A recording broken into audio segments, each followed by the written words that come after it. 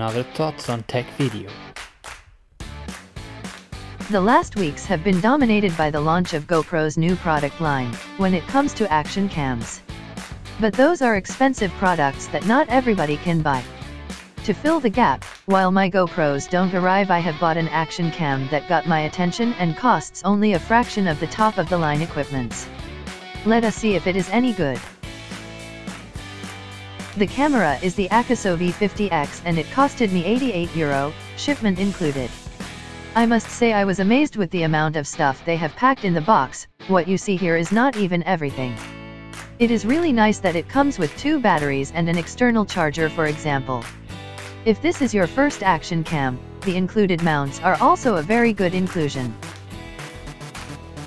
To record with the camera underwater you have to use the included waterproof housing. At this price point you cannot expect a waterproof equipment with no need for a case.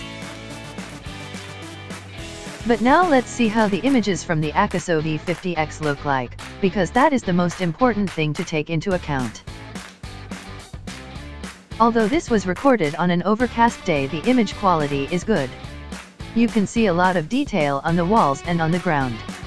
And for me there was another pleasant surprise, the stabilization really works here and is quite effective. I was not expecting this much.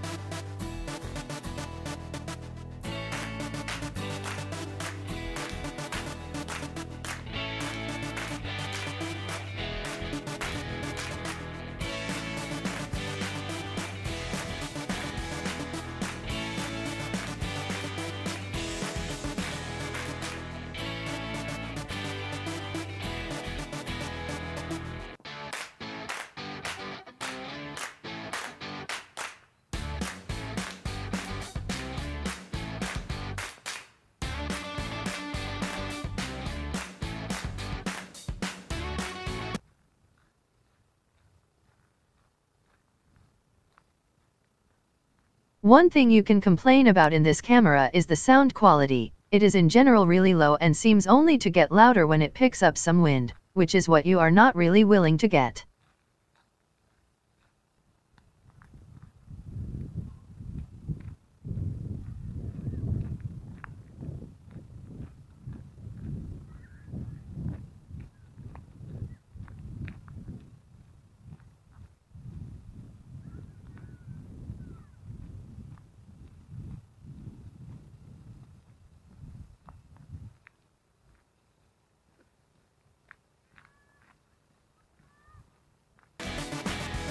On situations like this here, where I was running with the camera held in my hand, with no pole or small tripod, the stabilization gets to its limits. But the same happens on some other cameras that cost a lot more.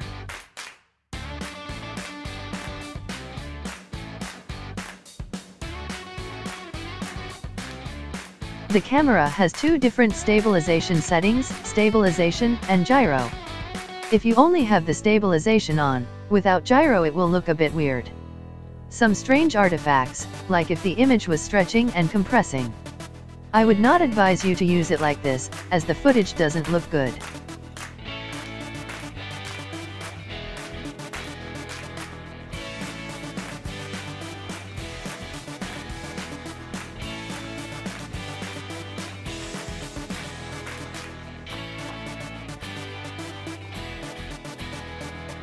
As a reference you can see here how it looks when the stabilization is completely turned off.